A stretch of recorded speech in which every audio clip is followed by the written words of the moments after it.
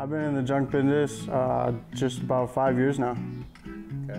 Um, what do you like about junking? What I like about junking is the family feel that we have around here.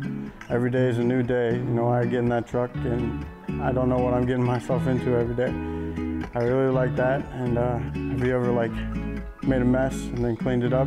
That feeling right there, that's the best feeling. So that's why, that's why I'm still here five years later.